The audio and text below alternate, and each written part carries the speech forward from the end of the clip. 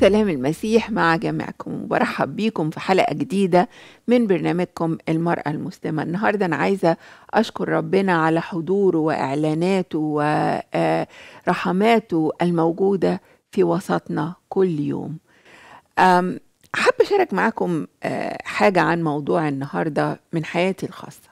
وأعتقد إنها ممكن تتلاقى كثيرا مع آه، آه، يعني آه، معظمكم. وأنا صغيرة وكان مثلا يخطر آه، على بالي كده سؤال عن الله آه، آه، أو عن الرسول مثلا. وطبعا كنت وقتها مسلمة. كان أول شعور أشعر بيه هو الخوف على طول ومش أترعب على طول. لأنه السؤال ممكن يكون معارض لما تعلمته عن شخص الله. أو إنه مثلا آه، طب ليه ربنا اختار آه، الراجل ده؟ بالذات يكون النبي يعني. طب إيه ليه هو آه، أحسن واحد اختاره؟ أنا مش شايفة كده مثلا. الأفكار دي كانت جوايا. لكن أما أول ما تخطر على بالي قبل ما أروح لحتة التحليل والسؤال طب أنا ليه بسأل؟ والمقدم ليا إيه؟ واللي في إيدي إيه؟ والكلام ده كله واللي بقراه إيه؟ على طول أترعب. فيحصل إيه؟ نستغفر بقى ونستعيذ واعوذ بالله من الشيطان الرجيم عشان على طول في بالي إن دي وسوسة من, الشيطان. آه، أسئلة عن وجود الله أو عن حقيقة الدين على طول آه، آه، الشعور بالخوف يهاجمك على طول وأنت بتفكر في الموضوع ده. الحقيقة إنه الشعور ده تفاقم جدا لما بدأت أتساءل عن صحة الدين وصحة طريقي إلى الله. طبعا كان مقابله بالرغم من الدافع الكبير اللي جواه إن أنا عايزه أعرف الحقيقة وعايزه أجد طريق حقيقي للعلاقة بالله كان جوايا النزاع ده من الخوف من الرعب من ما أعلمه عن عقاب الله للي بيشك فيه. واللي اللي بيقول حاجة ضده أو اللي بيفكر ضده أو اللي بيخرج عن الصراط المستقيم اللي اتعلمنا لازم نمشي عليه من غير ما تفكر. آه، التساؤلات دي بنسميها آه، آه، شك. انت بتشكي في ربنا انت هتسألي ربنا انت هتسألي الشيوخ وهكذا. بدون إرادة اتعلمنا إن الشكوك دي حرام وإن الأفكار دي حرام. فنستعيذ ونستغفر. دي بقى يعني طول ما إحنا قاعدين الشيطان بقى إيه نستعيذ. من الشيطان بالله ونستغفر الله لأننا قررنا فكرنا آه، آه، عارضنا آه، أو أو عرض علينا فكر مخالف لما تعلمناه. اولا هل صح نسمي الأفكار دي شك؟ ولا نسميها أفكار فكرة تساؤلات آه، آه، آه، بحث نقد آه، آه، حب معرفة؟ ممكن تسميها حاجات كتير لكن على طول لازم تواجه وانت بتسأل في حاجة في الإسلام هو انت هتعترض على ربنا أو انت بتشك في ربنا. لكن النهاردة هنركز على فكرة الشك. فكرة الشك. ليه دي غلط؟ ليه حرام؟ آه إحنا يعني ما احناش عارفين إحنا بنستعيذ ونستغفر ليه وخايفين ليه. آه لكن ما احناش عارفين ليه لكن عارفين إن إحنا هنواجه عقوبة عقوبة ما من الله أو من الشيوخ أو من القائمين علينا أو من المجتمع. أرجع أعيد الفكرة تا- دي تاني. الخوف والاستعاذة والاستغفار و آه، آه، يعني آه، مراجعة النفس في الحكاية دي. أول حاجة فيها أنت خايف من عقوبة ما هتقع عليك.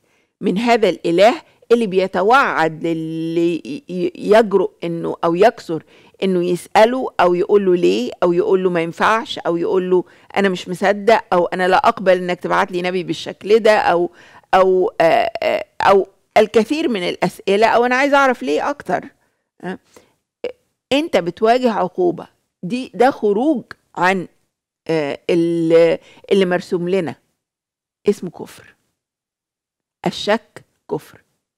فأنت بتبقى خايف من العقوبة يا إما من الله أو من الشيوخ أو اللي هم بقى إيه إلى ما لا نهاية هم المصادر لكل ما تعلمناه فالشك هنا يواجه المصدر بالحقيقة. الشك يواجه المصدر بالحقيقة. يا إما يثبت المصدر أو لا يثبت. فطبعا الشيوخ يبقوا مرعوبين إنهم مش هيثبتوا. مش هي... لن ي...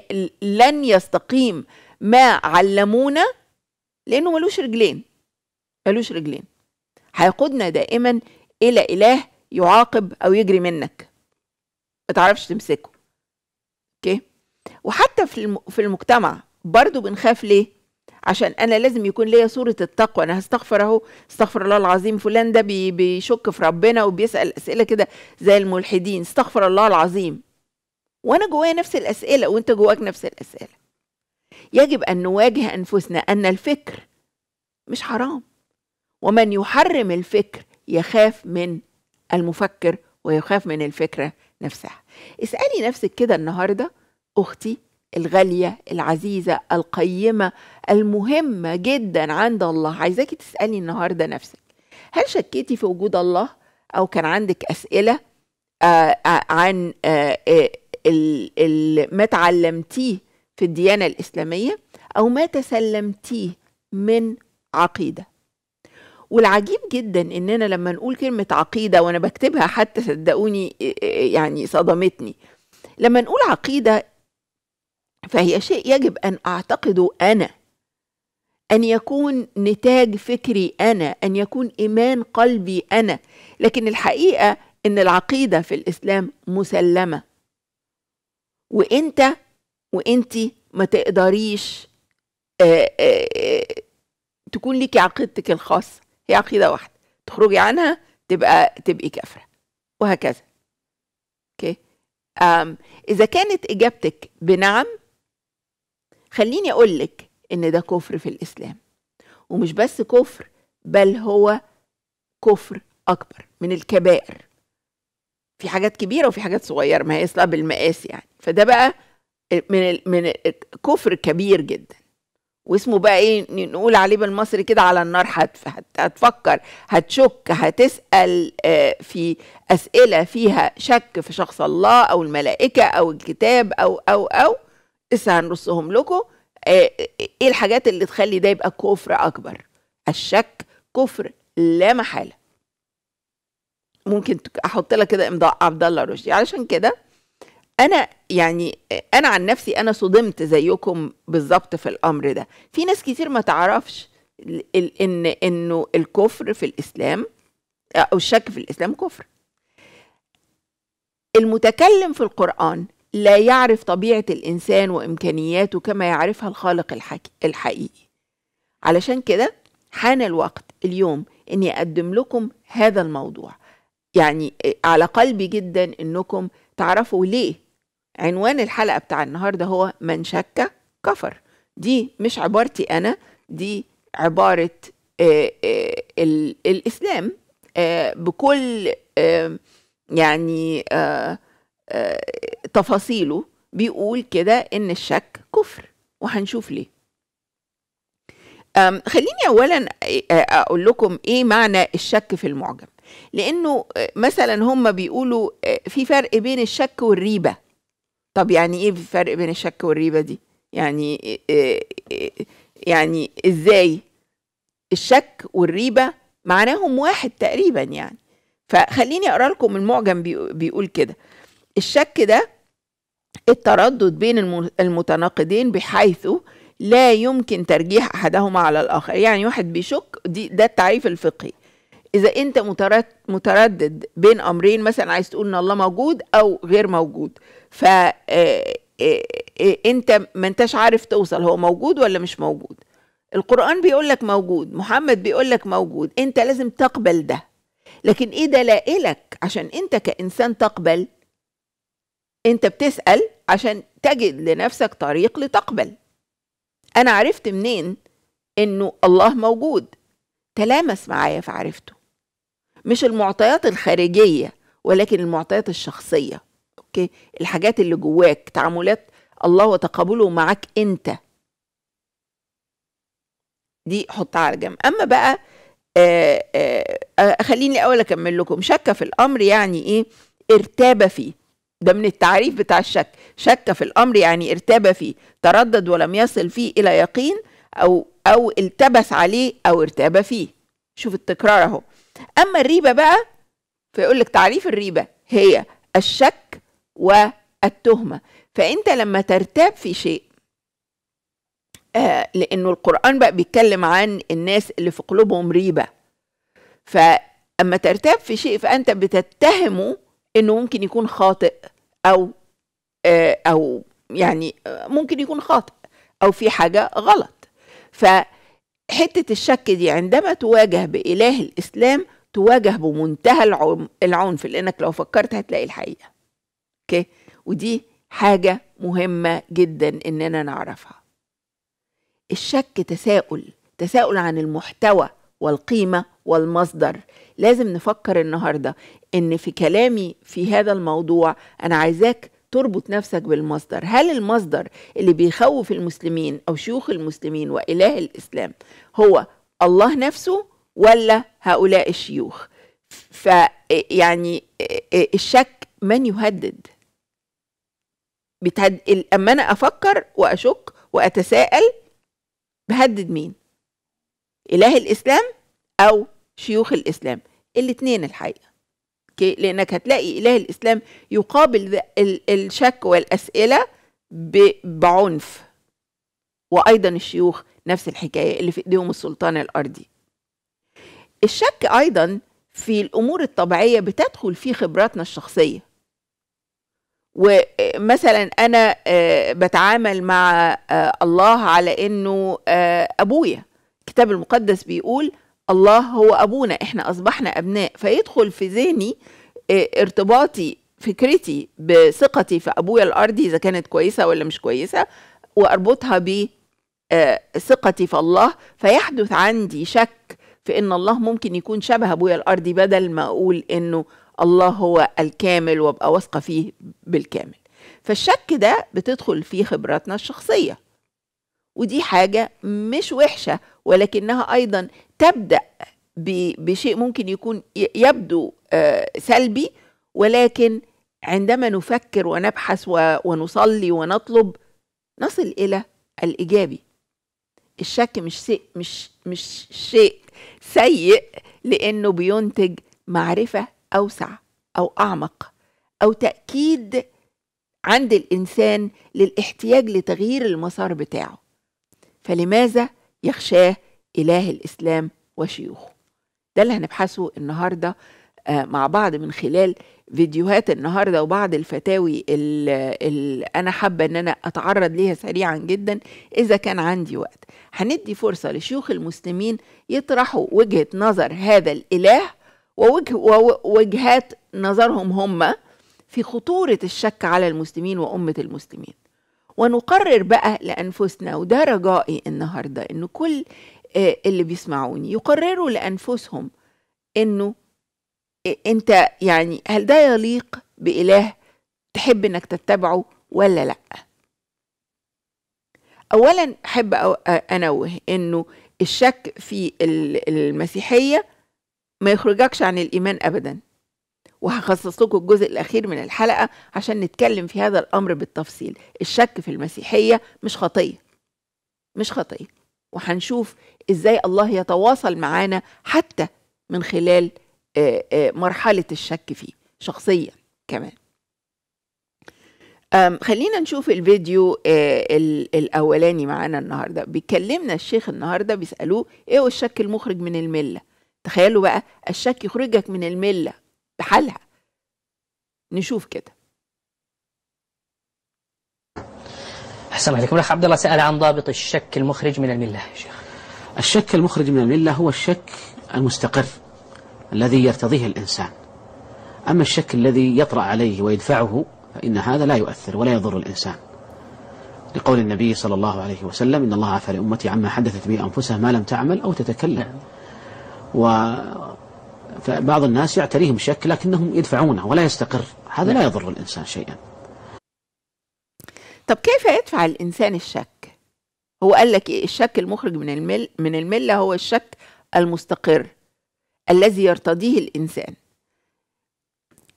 بداية أنا عايزة أقول إنه لما لو الإنسان بيشك في شيء ما فأخذ خطوات إنه يبحث فيه فيجد إجابات والاجابات بتوصله لإنه أنا شكي كان في محله شكي في محله.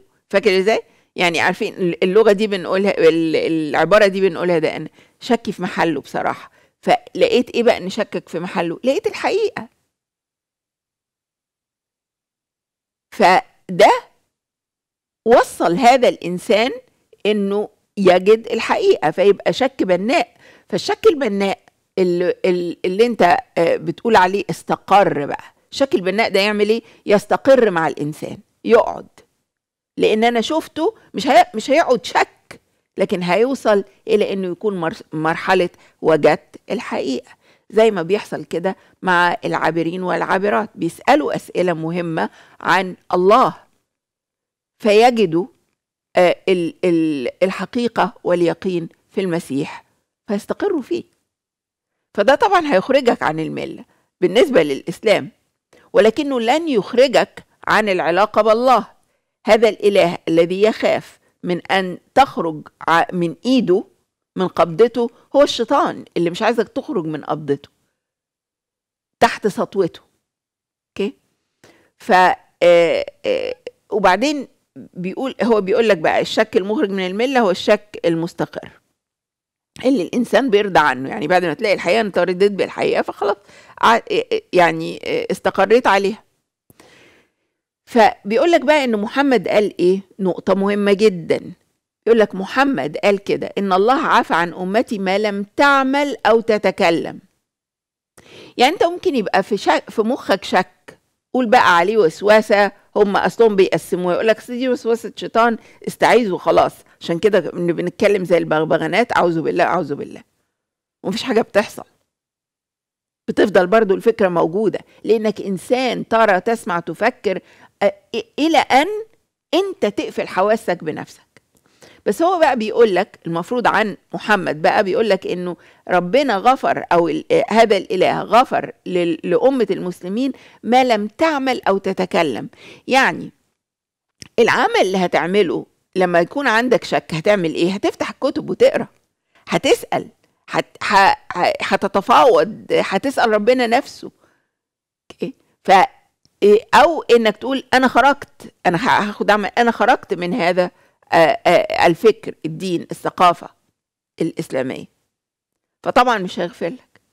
ما دام ما بتتكلمش وما بتعملش وأنت ساكت كده وحاطه في قلبك ماشي ممكن يعديها لك. هنا هو لا يحرص على قلب الإنسان هو يحرص على المنظومة الشكل العام. الشكل العام. ويقول لك بقى إيه؟ إنه ده يبقى الشك الذي يدفع ولا يستقر. طب إزاي؟ إزاي يدفع؟ كيف يدفع الشك ولا يستقر إن لم يجد إجابة؟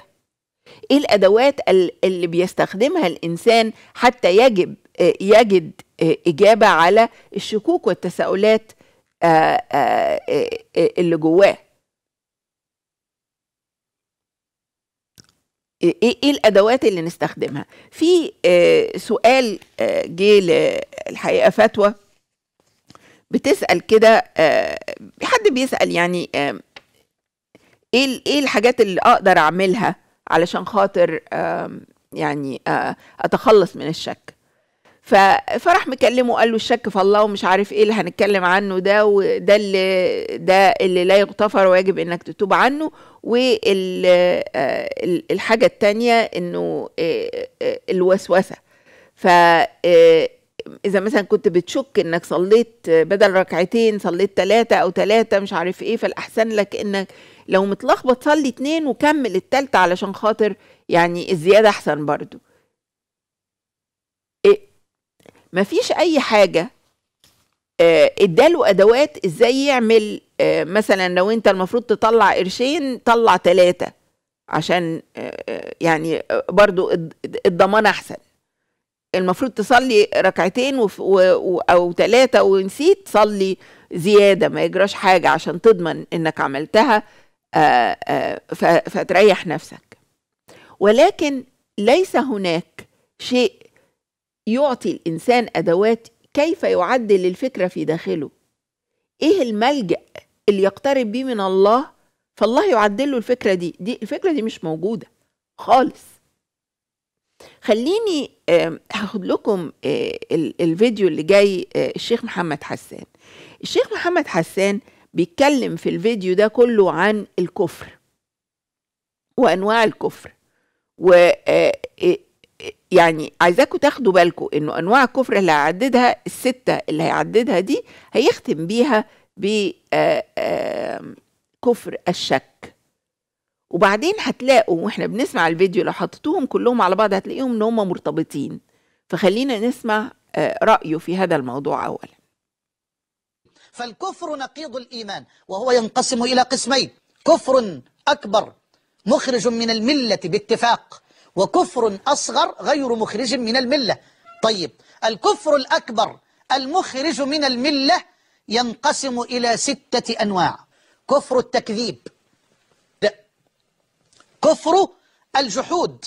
كفر العناد والاستكبار. كفر الإعراض.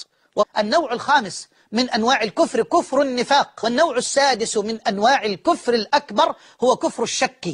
كفر الشك والتردد. ومعناه أن يظل المرء في شك في شك في الله في شك في رسول الله في شك فيما جاء به رسول الله من عند الله جل وعلا. هذه أنواع الكفر الأكبر الذي يخرج صاحبه من الملة باتفاق ولا حول ولا قوة إلا بالله. طيب آه، آه، أدي الست أنواع اللي قال لنا ده آه، يعني الكفر الأكبر وكفر أصغر. الكفر الأكبر الأنواع الستة اللي اتكلم عنهم هو التكذيب. طيب آه، على فكرة التكذيب آه، مرتبط برضو بالشك لأن أنا لو هشك الأول بعدين أكذب. يعني يعني هشك وبعدين ألاقي طريق فأكذب. آه، الجحود هيكذب مثلا النبي الجحود ب بالنبي باللي عمله ربنا ليه بمعطيات الله ليه وهكذا. ده كفر ده كفر. العناد في قبول ال- اللي الله بيقول له يعمله مثلا. كفر. ما هو أنا بعند ليه بجحد ليه؟ آه، آه، ال- كل الحاجات دي لأنه بتبتدي بالشك واحد فكر فشك. وبعدين في الآخر يقول لك إيه؟ النفاق والشك. والمنافق المفروض يعني إنه المنافق ده بينافق علشان خاطر عنده شك ومش مؤمن باللي هو ماشي فيه. أنا هتكلم عن أيام محمد على يعني على الأقل يعني بما اللي هو اتكلم عنه.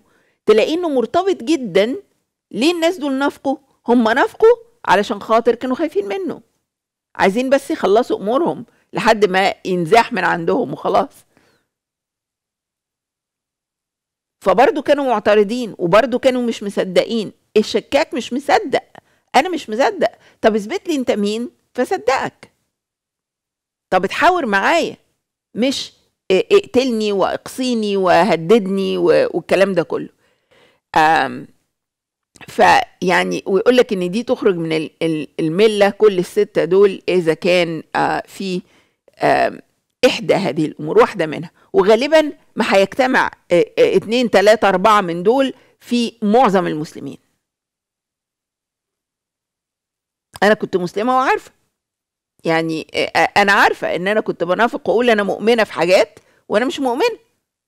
يعني هقول هقول هقول لجدتي مثلا إن أنا مش مؤمنة ب بطريقه الصلاة ولا كذا يعني كتير من الأمور. فكر هذا الإله عن المرأة مثلا لا ما أقدرش أقول لها كده. يعني فأنا فأنا كنت كافرة من الأصل خالص يعني ماليش دعوة بالموضوع.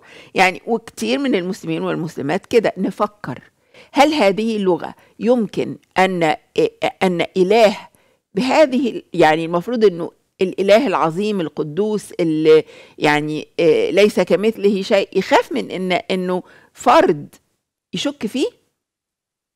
إزاي؟ أوكي. آم ال ال الفيديو اللي بعد كده خلينا نشوف آه، آم، إزاي آه، آه، محمد تعامل مع الريبة. اتفضل. قال الله تبارك وتعالى إنما المؤمنون الذين آمنوا بالله ورسوله ثم لم يرتابوا أي لم يترددوا ولم يتشككوا ولم تعصف ريح الشك, الشك بقلوبهم ولا بحقيقة الإيمان في قلوبهم. إنما المؤمنون الذين إنما الم... طيب. دول ال- المؤمنين بس هم اللي لم يرتابوا. أي حد خرج عن ده في الشك يبقى بره القطيع خالص.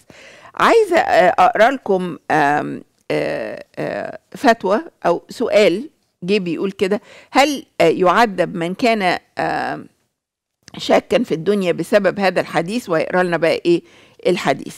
فالحديث بيقول كده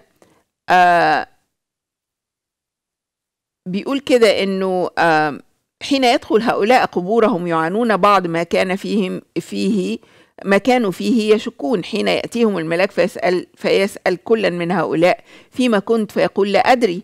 فيقال له ما هذا الرجل؟ فيقول سمعت الناس يقولون قولا فقلت. ف فيفرج له آه، قبل قبلا آه، آه، قبل الجنة. فيعني إيه يتفتح له حتة كده على الجنة. فينظر إلى زهرتها وما فيها فيقال له انظر إلى ما صرف الله عنك. بيذلوه بقى. يعني إيه؟ مش يعني المفروض يعني إن هو قاعد في القبر فيدخلوا يسألوه أنت كذا إيه, إيه, إيه, رأيك في كذا؟ يقول له مش عارف مش عارف. وفي وفي كمان أحاديث تانية بتقول إنه بي بي بينهق زي الحمار وحاجات زي كده يعني.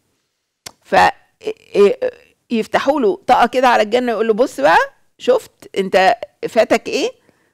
ذل. وبعدين وبعدين إيه آه ثم يفرج له آه قبل النار فينظر إليها يحطم بعضها بعضا فيقال له هذا مقعدك. على الشك كنت وعليه مت وعليه تبعث إن شاء الله. الراجل مات وش- وشبع موت المفروض يعني. من الذي أرسل هؤلاء؟ بصوا الكلام بتاع التخويف الرعب بقى اللي عايز عايز عايزنا نترعب وده اللي كنت بفكر فيه وأنا صغيرة وده اللي انت بتفكر فيه دلوقتي انت إزاي هتقابل ربنا وانت بتشك والكلام ده كله. لو انت لو انت هتقابل إله الإسلام هتقابل ده. لأنه ده ال- ال- الشيطان بعينه اللي مش عايز صلاح الإنسان اللي لن يتقابل معك ده ده مش بس كده ده هيبعت لهم ملائكة تذلهم. بص الجنة بقى مش هتشوفها بعينك. انت داخل النار حتف اقعد بقى انتظر. فيقعد الميت المفروض يعني هيقعد الميت بقى إيه يتألم ويتعذب في القبر ولسه كمان يعني إيه ألم انه منتظر انه هيدخل النار. سيناريوهات آه، يعني مضحكة جدا ولكنها تدل على قلب إله الإسلام. الشيخ بقى بيرد عليه بيقول له إيه؟ بيقول له آه، آه، أيوة الكلام ده صح من شك في الله أو في الملائكة أو في الرسل أو في البعث أو في الجنة أو في النار أو في شيء مما بل بلغوا عن بلغوا عن خبر الله وخبر رسوله صلى الله عليه وسلم فهو كافر. اقفل. نقطة. خلاص. يعني كل ده لازم تؤمن بيه. وانت ما انتش فاهمه وما انتش موافق على آه، آه، تفاصيله وإلا انت كافر. ويعني إيه اللي هيحصل له بقى. على النار حتف. بيقول بقى في سورة الكهف بيقول وقال تعالى ودخل جنته وهو ظالم لنفسه قال ما أظن أن تبيد هذه أبدا وما أظن الساعة قائمة ولئن رددت, رددت إلى ربي لأجدن خيرا منها منقلبا قال له صاحبه وهو يحاوره أكفرت بالذي خلقك من تراب ثم من نطفة ثم سواك رجلا. بعدين بقى بيقول الحديث المهم ده. وروى مسلم عن أبي هريرة عن النبي آه، صلى الله عليه وسلم قال أشهد أن لا إله إلا الله وأن رسول وأن رسول وأني رسول الله. لا يلقى لا يلقي الله بهما عبدا غير شاك فيهم إلا دخل الجنة. يعني إذا إذا حد شهد إنه لا إله إلا الله وإنه محمد رسول الله دول اللي هيدخلوك الجنة لو ما كنت شكيت فيهم أبدا. يا سلام. أدي الطريق. ف طبعا بيأكد له على كل ده وبيقول له بقى آه، يعني آه، الحديث اللي أنت بتقوله ده بيدل على أن من كان على اليقين في الدنيا يموت عليه آه، يموت عليها عادة وكذا في جانب الشك.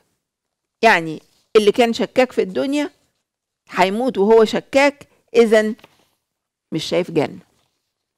لا أمل لا تلاقي مع هذا الإله ولا تفسير لما لا يفهمه البشر ال- الضعفاء.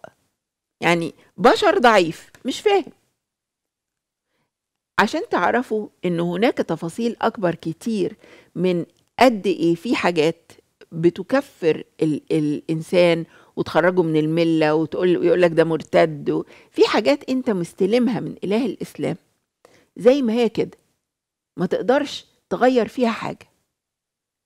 وأنت مش فاهمها ولا اللي ادوها لك فاهمينها. بس هم فاهمين إن في إيديهم مفتاح السيطرة على مخك وأمخاخ المسلمين كلها لو شاوروا لك بالجنة والنار والعذاب الأليم. في سؤال مش مرتبط ارتباط مباشر قوي بال آه، آه، بالموضوع ده لكن في النهاية هتفهموا أنا حطيته لكم ليه. واحدة بتسأل شيخ إذا إيه إيه- يعني إيه حال من شك آه، آه، آه، إنه الكفار من المسيحيين واليهود آه، إيمانهم آه، صحيح أو غير صحيح؟ يعني أنا لازم أؤمن إن المسيحيين واليهود وغيرهم آه، في ضلال؟ طب إذا أنا شكيت إن هم في ضلال إيه عقابي بقى؟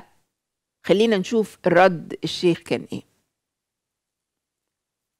هنا سارة من السعودية سألت عما ورد في مقرر من المقررات الدراسية يا شيخ بأن من شك في كفر اليهود والنصارى والوثنيين فهو كافر وتسأل هل الكفر له درجات يا شيخ؟ ما ذكر من وجوب اعتقاد كفر الكافرين هذا أصل من أصول الدين. يجب اعتقاده. الله تعالى يقول في محكم الكتاب فمن يكفر بالطاغوت. ويؤمن بالله فقد استمسك. استمسك بالعروة الوثقى لا انفصام لها. هذا من أصول الديانة أنه يجب أن يعتقد الإنسان أن من لم يؤمن بالنبي صلى الله عليه وسلم فهو كافر. الله تعالى يقول إن الدين عند الله الإسلام. ويقول ومن يبتغي غير الإسلام دينا فلن يقبل منه. ويقول النبي صلى الله عليه وسلم في حديث طارق بن أشيم رضي الله عنه في صحيح الإمام مسلم من قال لا إله إلا الله وكفر بما يعبد من دون الله فقد حرم ماله ودمه وحسابه على الله.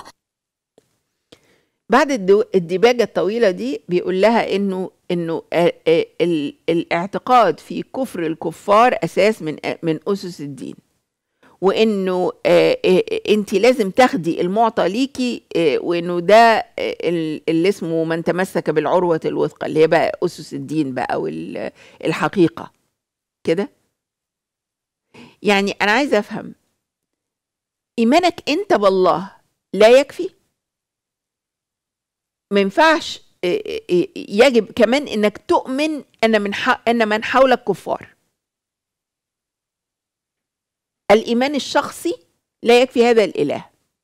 طب أنا شخصيا آه، يعني آه، آه، ما بقدرش أبص للي حواليا وأحكم أقول إيه ده الشخص ده ماشي وحش ده ماشي غلط ده آه، ربنا هيعمل فيه كذا. مش للأشخاص ولكن لإيماني إن الله بينظر إلى كل إنسان من من قلبه هو وأنا ما عنديش القدرة إني أستوعب عظمة رحمة واتساع قلب الله. في ثوابت في المسيحية. في ثوابت. في الإيمان بيسوع المسيح وقبوله مخلص شخصي ليك هو الطريق الوحيد إلى الله. ما في يعني ما فيهاش كلام. لكني مع ذلك لا أجرؤ إنه أحكم على إنسان. أنا معرفش هو مات إزاي وكانت آخر لحظة بينه وبين الله حديث ولا لأ.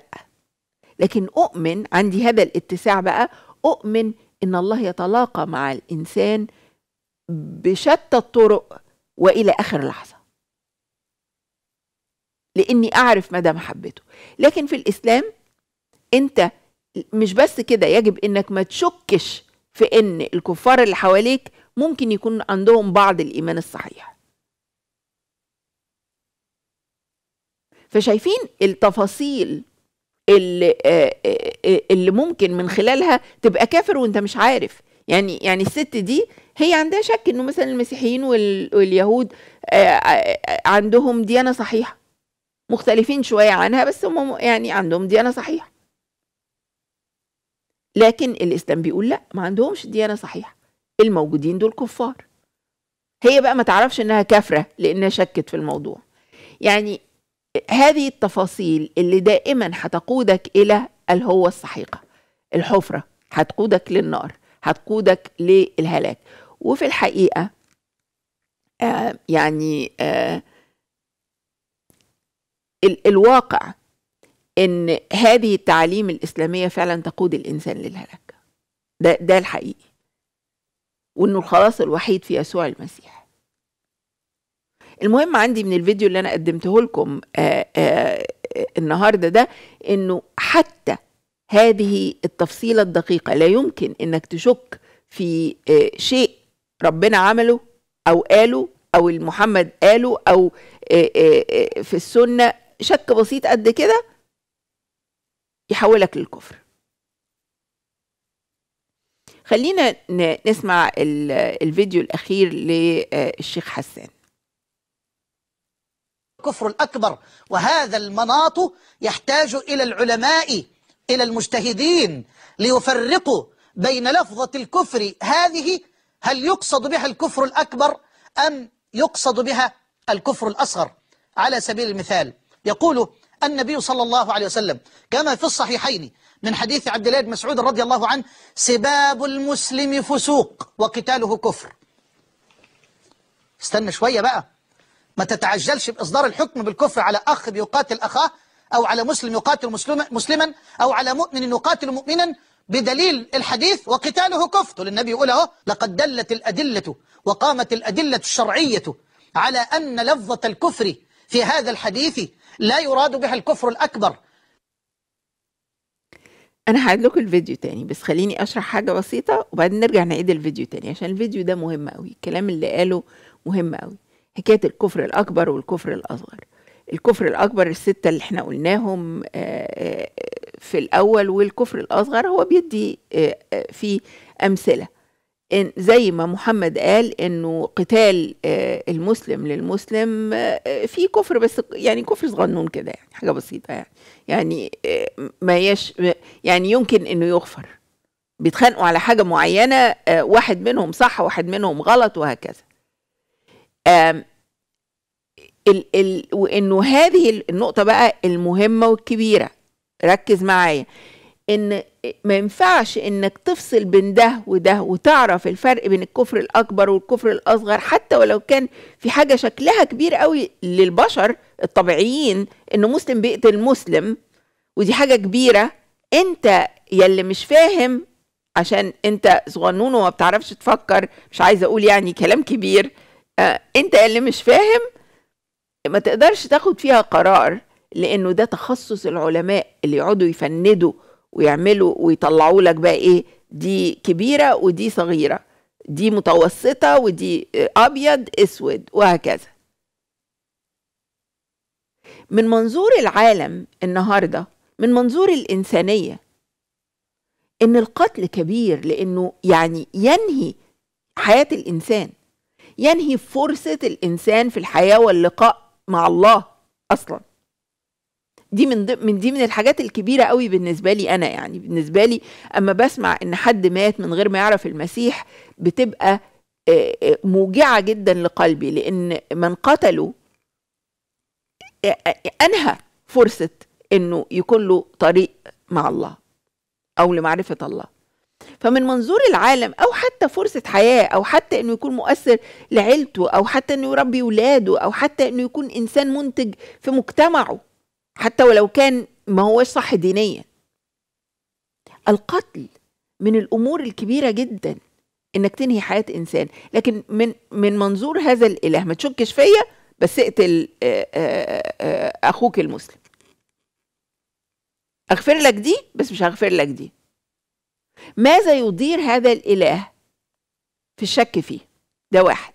وبعدين ال ال الزبانية بقى بتاعته الأدوات الناس اللي بيستخدمهم من العلماء بقى المصادر اللي بيودوا اللي بيودوا لك ال ال التفاصيل بتاعتهم تخصص العلماء. وطبعا لازم محمد حسان يقول لك لا استنى معلش يعني انت ما تقدرش تعملها من غيرنا. يعني سوري معلش استنوا عشان أنتوا مش فاهمين أنتوا عامة هذا العلم غير متاح للجميع. إحنا اللي نقول لكم فين؟ إيه كبيرة وإيه صغيرة. اوعى تشك في الله بس ممكن تقتل أخوك المسلم آه، إذا كنتوا مختلفين. يعني يعني ال- السني يقتل شيعي أو مثلا هو ما يقدرش يعني ما يقدرش مثلا يجعل آه، ال- الكفر ده كفر أكبر. عشان لو لو عملنا كده هنعمل إيه في معركة الجمل؟ هنعمل إيه في حروب الردة؟ هنعمل إيه؟ مشاكل. مشاكل إسلامية كبيرة جدا. لما بتفكر بتلاقي إنها لا يمكن تصدر من فكر وقلب إله. يعني أما يقارن مثلا من آه، آه، من آه، الكفر ال- الأصغر أنا مش فاهمة يعني كفر أكبر وأصغر دي ك- كلكيعه صعبة عليا قوي أقولها.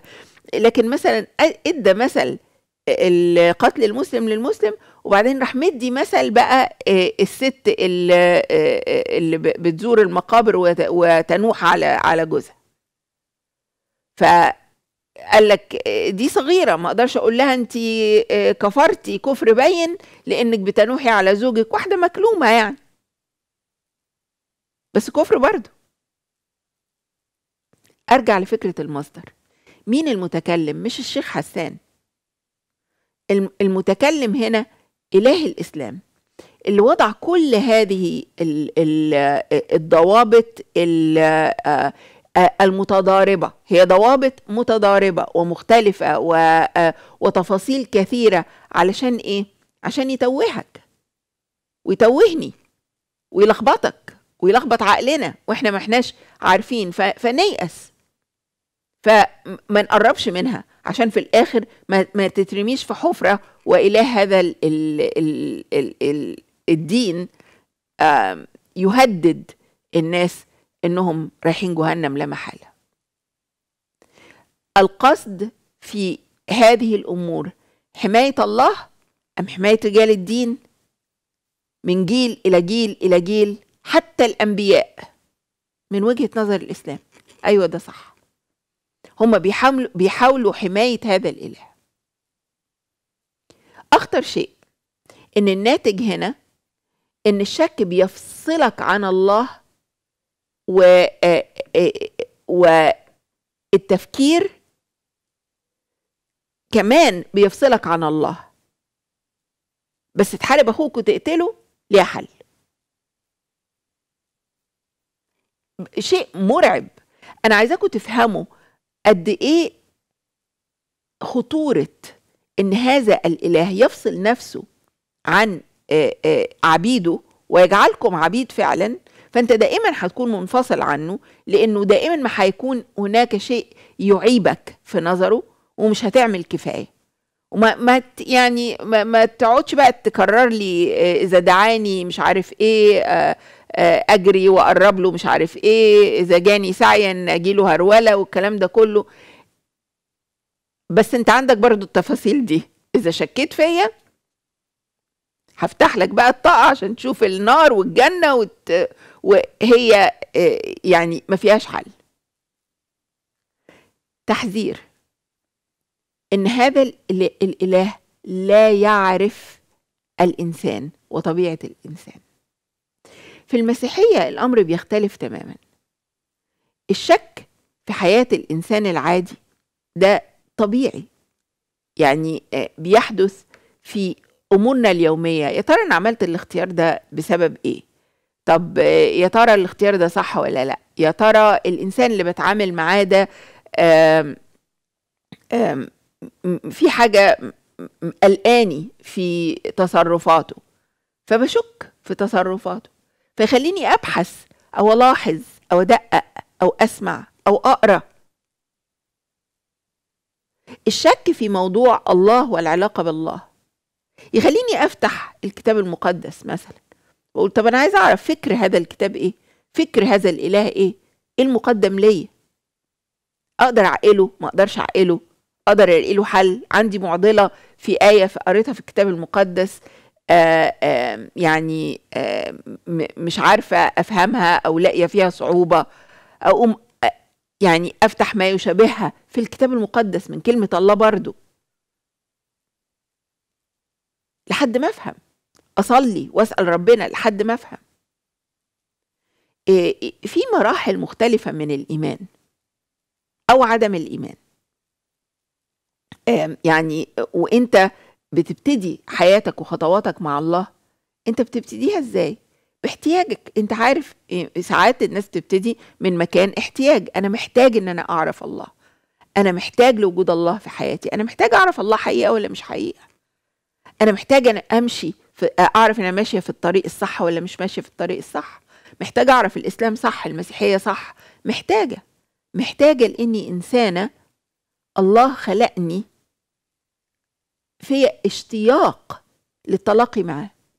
انت ما بتبقيش عارفة احتياجك ده جاي منين فدي مرحلة ومرحلة تانية ممكن تيجي في البحث عن العلاقة بالله وفي الفهم أو في الشك في اللي انت فيه إنك بتبصي لل- للإيمان اللي انت اتربيتي فيه واتولدتي فيه وبتلاقي نفسك مش مقتنعة بيه فبتشكي فبتسألي فبتدرسي فبتصلي فبت... فبتس... ب... ربنا بيتلاقى معاكي بتحاولي الاقتراب من الله فربنا. بيتلاقى معاكي الشك ممكن يبقى في حياتنا في أمور كثيرة جدا وحتى في العلاقة بالله. ممكن الله زي ما قلت لكم أنظر الله على إنه أبويا وأنا أبويا لم يرعاني جيدا مثلا. فأنسب ليه ده لأني ما أعرفش إنه الله في الكتاب المقدس هو الراعي الصالح اللي مفيش أصلح منه.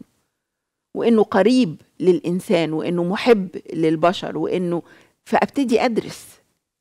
فممكن في حياتي اليومية ما ثقش إن الله هيعتني بيا عشان أنا مش مهمة لأني اتربيت على إني مش مش مهمة.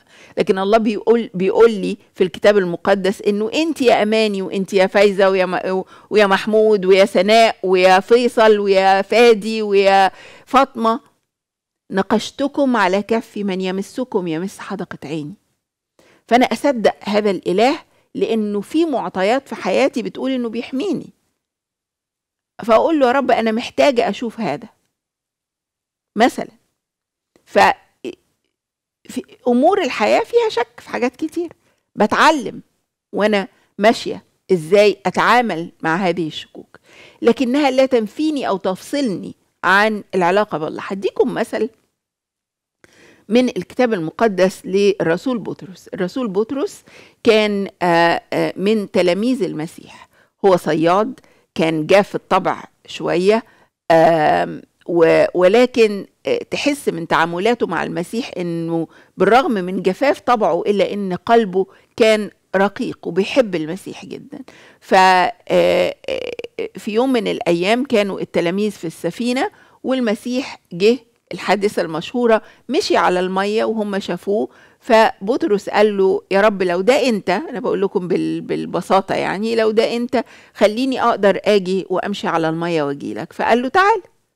فبطرس فعلا نزل من ال- السفينة ومشي على المية لكن بص حواليه وشك إنه إيه ده وأنا ماشي على المية صحيح وده المسيح فعلا وهو ده حقيقي ولا أنا بحلم؟ ما أعرفش كان في في مخ بطرس إيه لكن كان في قلبه شك والدليل عندي إنه المسيح قال له لماذا شككت؟ لماذا شككت؟ فبطرس ما بيتقالش عليه بطرس الشكاك لكن بيتقال عليه الصخرة اللي المسيح قال له على هذه الصخرة إيمانك أو أنت يا بطرس على هذه الصخرة أبني كنيستي. لكنه شك. بس الأهم عندي في الرسالة دي حط صورة بطرس وهو ماشي على المية وهو شايف عينه في عين المسيح ومشيله على المية والمسيح شايفه ومتواصل معاه. فشك فوقع. فلما وقع بطرس المسيح ما قالوش يا قليل الإيمان لماذا شككت؟ طب أنا سايبك وماشي. بطرس الصياد كان بيغرق لأنه شك في مكانته الموقف اللي كان فيه مع ربنا. ايا كان موقفك مع الله. أنا هقول لك إن الله هيعمل معاك زي ما عمل مع بطرس. عمل إيه؟ مد إيده وطلعه من المية. قرب ليه. لما تمد إيدك وتطلع حد من حفرة أو من أو أو وهو بيغرق أنت قريب جدا منه بتعطي له حياة. الله أعطى لبطرس فرصة أخرى في الحياة وفي الإيمان لأن هذا الإله الصالح. تعامل مع بطرس في سقوطه وفي شكه. بطرس مش المثل الوحيد. إبراهيم وسارة شكوا في تعاملات الله معاهم. ضحكوا مش شكوا بس دول يعني يعني أنا بقى 90 سنة وهي مش عارف كام سنة و... وأنا لسه هخلف. الله قال له أيوه هتخلف. و... وراح له وزاره بنفسه. تواصل معاه. وكمل التواصل معاه. هناك الكثير من من الأمور في حياة إبراهيم مشيت على خلاف ما, ما, ما الله قال له. اختياراته كانت على خلاف ما اللي قاله له ربنا. وفي كل مرة كان الله بيجي جنبه وبيقف جنبه وبيرفعه وبيعضده وبيكمل وعوده معاه. بدل ما نهرب من الشك تعامل معاه بالبحث وبالصلاة.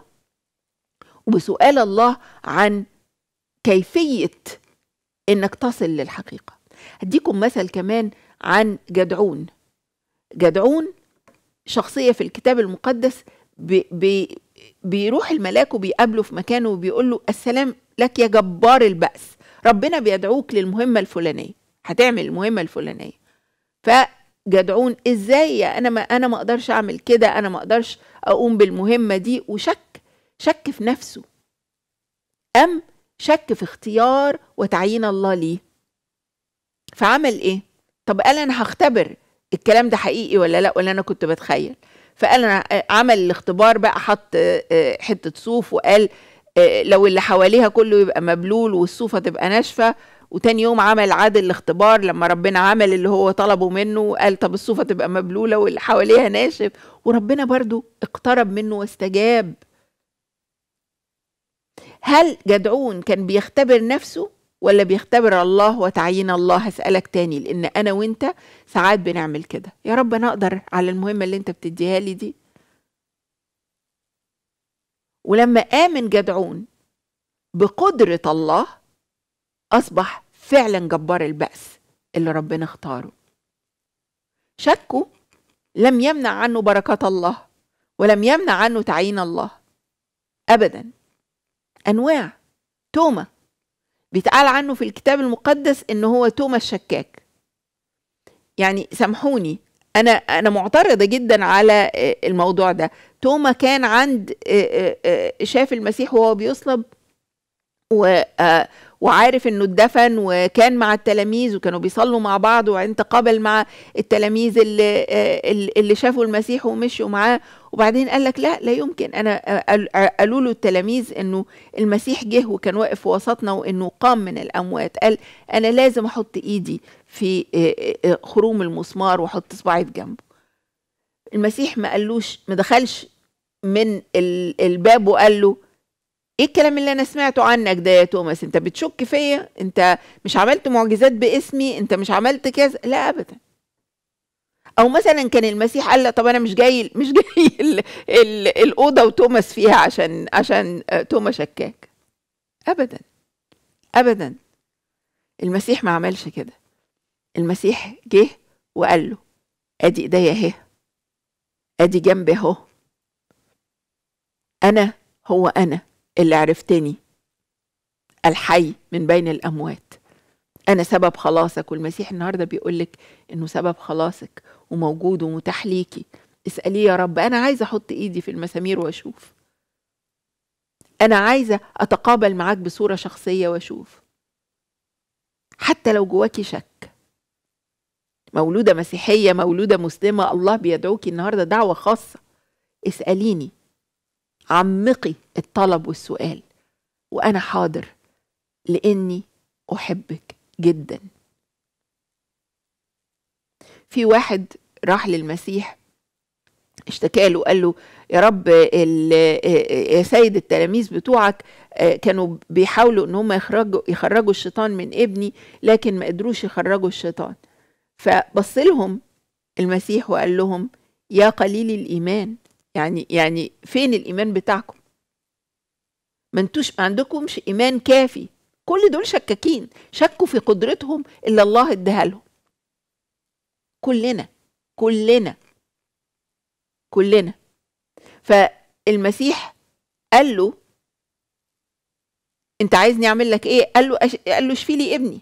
قال له أتؤمن؟ فقال له أؤمن يا سيد أعن ضعف إيماني. اعن عدم إيماني. النهارده ربنا بيقول لك كده. اسألي الله لشفاء ومعرفة و... و... آه، و... ومعجزات علشان توصلي لشخصه. وحتى لو مش جواكي إيمان كافي قولي له أؤمن يا سيد اعن ضعف إيماني. والمسيح شفى الابن. والمسيح استجاب للطلب. والمسيح النهارده يشفي قلبك. ويديكي كل احتياجات قلبك إنك تعرفي. الشك مش خطية. في شكنا الله بيقترب مننا. عارفين ليه؟ لأنه الله يقترب من الخطاه عايزة أقول لكم ثلاث أربع حاجات تقدروا تبصوا عليها وتشوفوا إزاي تتخطوا مراحل الشك اللي, اللي بنمر بيها كبني آدمين في ضعفنا أو في تساؤلاتنا. أو في مرحلة بنائنا آه، الروحي والقلبي. افتكروا لو أنت ما عندكيش معرفة آه، آه، يعني عميقة بالله تصدقي إن الله يمكن أن يكون حنون ولا لأ؟ أنا أصدق إن الله يجب أن يكون حنون. أنا بقول لك إن الكتاب المقدس ها تمسكي بهذا. قولي له يا رب أنا سمعت إنك حنون. وريني هذه الحنية باقترابك مني. تصدقي إن الله آه، يقف في وسط الخطاة ولا يبتعد عنهم؟ طبعا. لأنه الكتاب المقدس بيقول افتكري كده اللي أنا بقوله لك ده مش كلامي ده كلام الله. لأنه هو بعد نح ونحن بعد خطاة مات المسيح من أجلنا. فأنت تقولي له كده قولي له يا رب لو ده حقيقي لو أنا في وسط خطيتي وفي وسط شكي إن اعتبرنا الشك خطية حتى. لو انت جواكي كده. قولي له يا رب لو أنا في وسط الخطية دي أنا عايزاك تقترب مني. فيقترب ليكي كما اقترب من بطرس وتوماس و... و... وجدعون والراجل اللي, اللي شاف بنته كما اقترب من المجدلية. كما كما اقترب من آه، آه، ال- ال- الخطاة اللي آه، اللي انتقد لأنه كان في وسطهم. أذكركم بالمسيح آه، الله الظاهر في الجسد اللي كان يقف ينظر إلى الجموع فيتحنن عليهم. تمسكوا بده. الصلاة هي ال ال الوصية الأخيرة اللي أقدر أقولها في آخر الحلقة النهاردة. إنه إذا كان جواك شك أو جواكي شك في شيء معين في علاقتك بالله صلي. صلي يعني اسأليه يعني اطلبيه يعني قولي له أنت قلت إنك عايزني أكون ابنة ليك. علمني إزاي؟ وريني إزاي؟ اكسر الحدود اللي أنا ما أقدرش أكسرها. وأنا أصلي من أجلكم إن الله يصنع ده في حياتكم اليوم. وإلى اللقاء في الحلقة القادمة.